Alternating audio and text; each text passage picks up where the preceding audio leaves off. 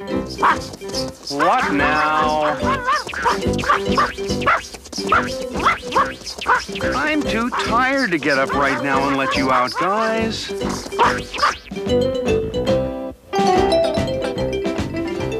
Hey, what do you think you're doing?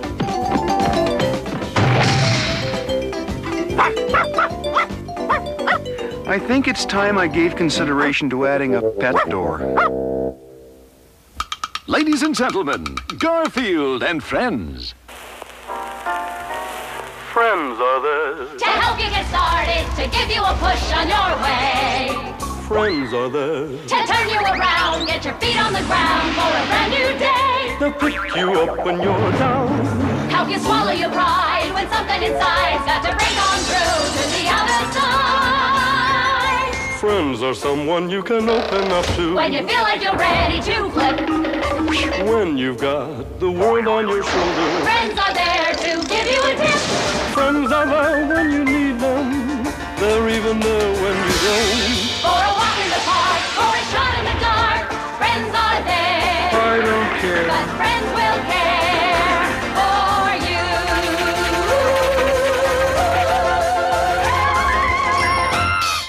Smart kids watch this show. Other kids change the channel.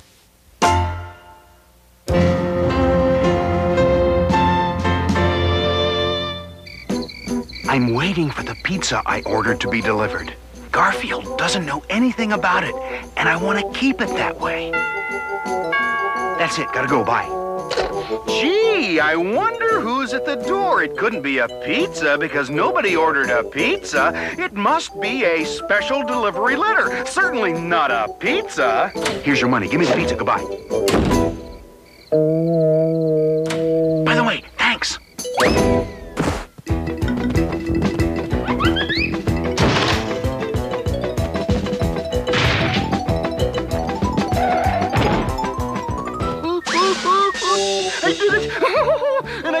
Forget anything! You forgot the anchovies. Don't worry, you'll remember next time. How could anyone eat a jumbo mushroom, pineapple, sausage, pepper, olive, onion, meatball, Canadian bacon, and pimento pizza all by himself? Plus, I usually prefer a thick crust. You know, one of these days, eating like that is going to give you a nightmare. Wait and see. A nightmare? Me? Get real. Imagine him thinking I'd have a nightmare from eating too much. Me. What a silly thing. What a silly.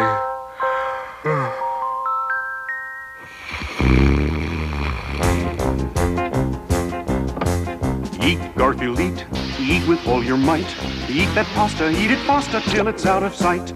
Till it's out of sight. Munch, Garfield, munch. Come on, let's do lunch. Make your belly mozzarella crunch, crunch, crunch. Crunch, crunch, crunch. Cheese, salami, ham, and Swiss, whole wheat, rye, and white. Sliced tomatoes, tons of mayo, love at first bite. Garfield, you're an awesome eater. Yes, you are the top. Butter, batters, bitter batter, you don't have to stop. Double stack it, you can hack it. Yum, Garfield, yum. Don't you miss a crumb. At a dinner, you're the winner. Don't you pause or you'll get thinner. More, Garfield, more, till you can't fit through the door. Eat, Garfield, eat. Chow, chow, chow. You've got to stop eating, Garfield. You're getting bigger and bigger and bigger and oh no!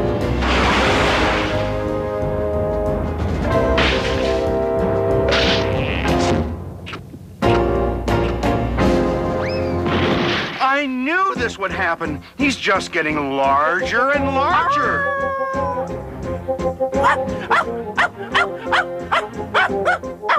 I know you're still hungry, Garfield. Don't worry, I'll find food for you. Uh, how about a pizza? How about a hundred pizzas? And don't forget the anchovies this time.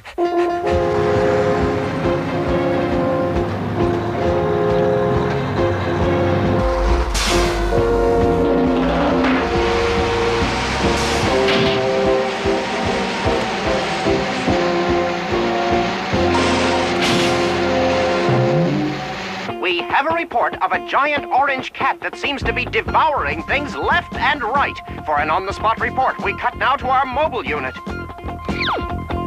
What's that? We have a report he just ate the mobile unit. I'm leaving town, folks.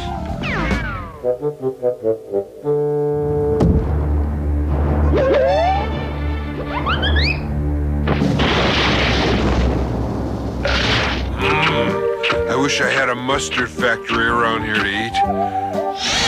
Oh. Now I'm thirsty.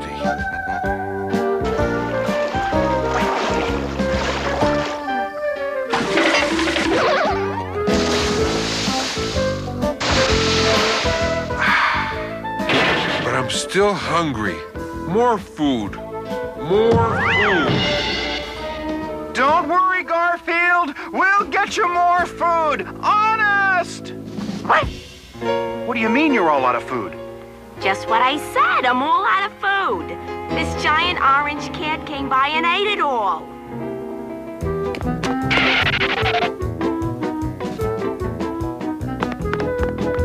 They don't even have paper towels left. There's no food in the entire town. More food. More food. I, I, I don't believe it. More food. More food. Hello? Get me the National Guard. National Guard, we have an emergency. We need lasagna. That's right, I said lasagna. 50 ton, no, 100 tons. And hurry. boom boom Operation Lasagna is proceeding according to order. In the meantime, we're filling up the Grand Canyon with chicken gumbo just in case he wants soup. This is your cat. How much more food will it take to satisfy him? I don't know if he can be satisfied, General. Oh, He's eaten all the lasagna. And he still looks hungry. More food. More food. There isn't enough food in the world to feed this cat. General, you can't. I must. Attention, men. We have no choice. Bring in the air squadron.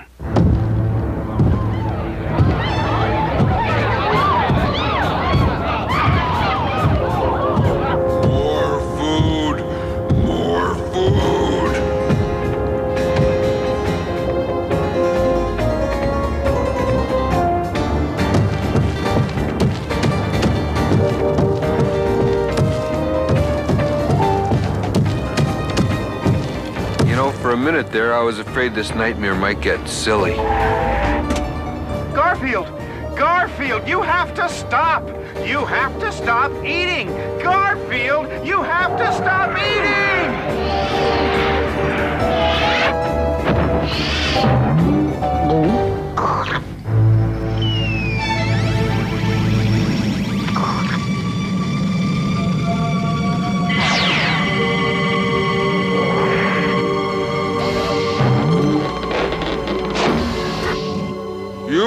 Mr. Spock. Anyone? Greetings, Earth creature. You no doubt have questions. Yeah. You got anything to eat? Hmm, nice and plump. We did a good job fattening you up with the interplanetary hunger ray. Fattening me up? But of course, you will be Thanksgiving dinner for the entire planet of Clarion. And there'll be plenty left over for sandwiches the next day. Me? Sandwiches? No. No. I'd make lousy sandwiches. I want to see Jon again. And Odie, he can have all his dog biscuits. I'll go on a diet. Ah! I'll lose weight. You don't want me for Thanksgiving dinner. My drumsticks have fur on them. No, they're basting me. They're. I know that slurp. Odie, You were having a nightmare, Garfield. that's what it was a nightmare. Look, I'm sorry I yelled at you about the pizza. I fixed you something to make it up to you. Lasagna? Uh huh. Take it away. Take it away. Ah. That's it. I'm going on a strict diet for 20 pounds. Or 20 minutes. Whichever comes first.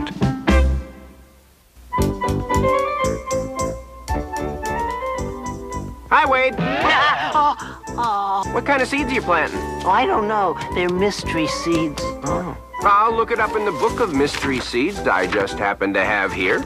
Let's see. Seeds, seed. Oh, here it is. the seeds of the dangerous South American duck choker vine. Did you hear that, Wade? Wade? Oh, Wade? Wade? Oh, Wade? Wade?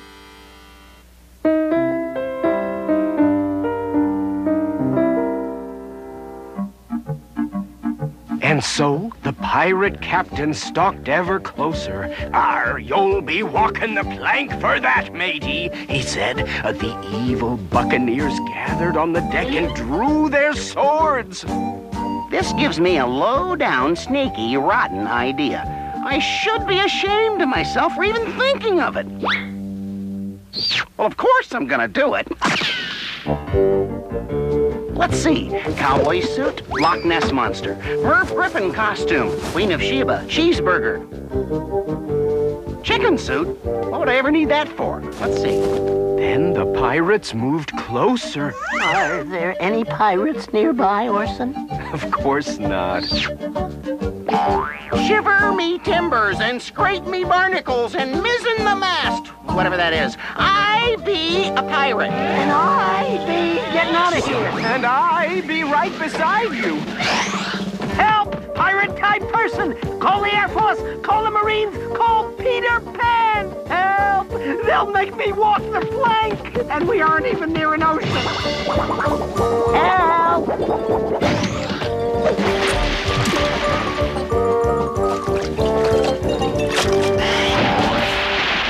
Wait, I just realized that was no pirate. That was Roy. Boy, I wish you'd figure that out 30 seconds sooner. No, Roy, that was not very nice. What's the matter? Can't you take a joke? That wasn't funny. Banana nose. Banana nose? Good name for that dude, sis. Hey, no fair picking on a guy's nose. What's the matter, Roy? Can't you take a joke? Sure, if it's funny. I just don't see anything funny about my nose. Yeah, well, you ought to see it from this side. All right, call me Banana Nose. See if it bothers me. Ha! Banana nose. Banana nose. Banana nose. Banana nose. Banana nose. Hey,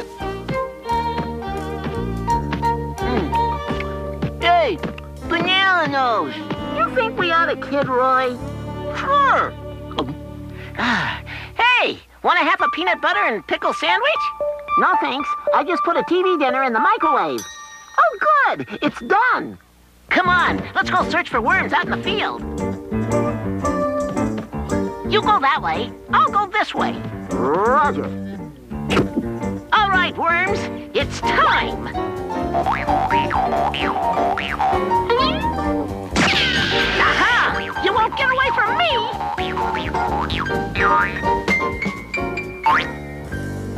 Where'd he go? Come back here, you worm! You, you... Booker, where'd you go? I thought I saw some worms. Booker? Booker? Roy, I've been thinking. Folks shouldn't call you Banana... Roy? Dear everyone, I thought I had friends here. I guess I was wrong. Don't worry, you'll never see my banana nose here again. Goodbye, signed Roy, parentheses, banana nose. Oh, no. Can I have his room? This is serious. Roy's run away. Hey, man, he's always picking on us, playing tricks and junk like that. Bo's right. But don't you realize what you're acting like? No, what are we acting like that's so awful? You're acting like Roy. Ooh, Pig's got a point. I am shamed. We gotta go find Roy and bring him back. Orson, everybody! Booker's missing. We went out into the field to look for worms hours ago. I can't find him anywhere. now everybody's missing. Come on, we've got to search the countryside. Poor Booker, poor Roy, poor Booker and Roy. Well, Nose, looks like it's just you and me. I don't think you look like a banana. A ripe zucchini, maybe, but not a banana. I'll go someplace where people don't care about your nose. Boy, wish I'd brought something to eat. I'm hungry. I'm imagining I smell a peanut butter sandwich with pickles. It is peanut butter and pickles.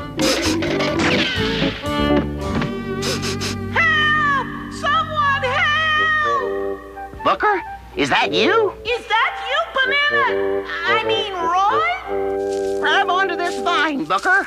I last saw Booker around here.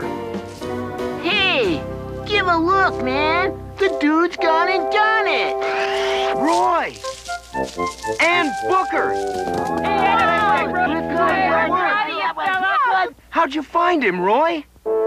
My nose led me to him. I smelled peanut butter and pickles. That's what I had for lunch. I guess a banana nose is good for something after all. Yeah! Does your nose look like a banana? Are your toes shaped like Indiana? Do your ears seem bigger than Montana? Dry your tears. We understand ya. Hey, everyone has something strange about them. That's what makes us all special. Wouldn't it be great if you could just look in the mirror and say, Yo, banana nose. Now you know how my sailboat goes. Here's Montana ears. I have ears so my sister can steer. Hey, hey, Indiana toes. Getting me across those winter snows. Whatever the name. I'm still the same. Nice person.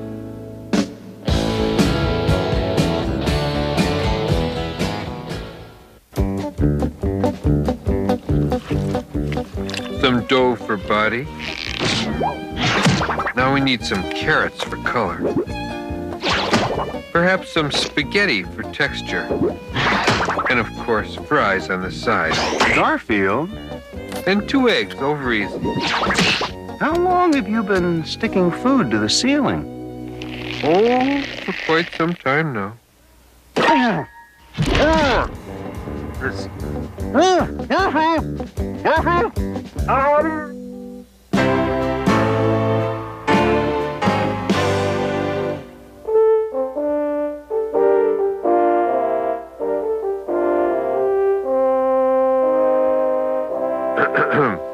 A poem by Garfield the Cat. I decided late one Sunday I would sleep till half past Monday. Suddenly I felt a tap, which awoke me from my nap. I awoke and found before me someone who was sure to bore me. Please leave me to sleep, I chirped. That was when the creature slurped. Just then the surprise was sprung. Seven yards of doggy tongue. Doggy tongues will always trick you. Look so harmless till they lick you. He let out a loving howl. I went out to get a towel. When a dog's enthusiastic, what you want to do is drastic. All my fur was wringing wet. Should have had it washed and set. Let me sleep, I'd often told him. Looked like I would have to scold him. I was in for a surprise when I looked into his eyes. Pleading as they were for mercy, left me with a controversy. Then I got a wondrous notion how to sleep without commotion. So he'd leave this cat alone. I dug out his favorite bone. Figured if I couldn't cure him, next best thing would be to lure him. When he came back, he would find I had locked the door behind. Now at least his dripping yap wouldn't interrupt my nap. In my world, there's no excusing when you interrupt my snoozing. So while I was busy snoring, my friend Odie went exploring. Usually he doesn't roam quite this far away from home, but he wandered to an alley where the tough dogs often dally. You would be a little nuts to go near these mangy mutts. Odie never comprehends. He decided to make friends.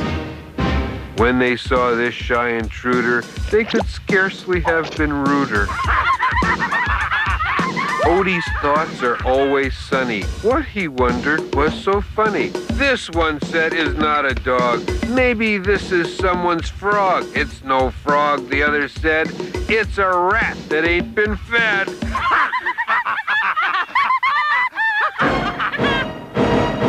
No, the biggest one exclaimed. I know what this runt is named. Not a frog and not a rat. This is just a teensy gnat. And he grabbed poor Odie's bone and he claimed it for his own. Odie, you must understand, always wants to lend a hand. Anytime or anywhere, Odie would be glad to share. But you have to do it right. Taking things is not polite. Odie wanted it returned. His request was promptly spurned.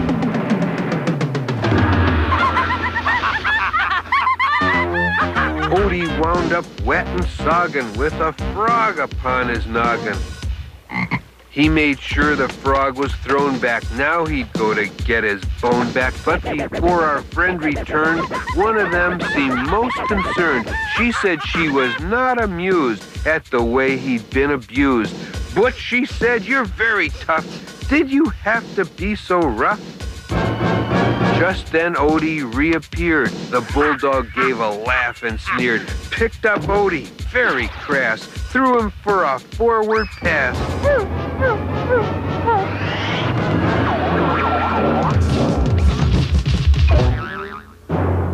Now the other dog agreed that was not a funny deed, and she told the bulldog he really should let Odie be. Butch said that he wasn't done. Pounding Odie's too much fun. That was when he looked and found that his ladies weren't around. They decided they would flee with someone much more nice to be with. They led Odie to a world where he'd not be kicked or hurled. Butch was left there all alone, with no friends, just Odie's bone. So they marched the little waif to the home where he'd be safe. Odie had made lifelong pals with a couple doggy gals. Someone had not figured fully, people never love a bully.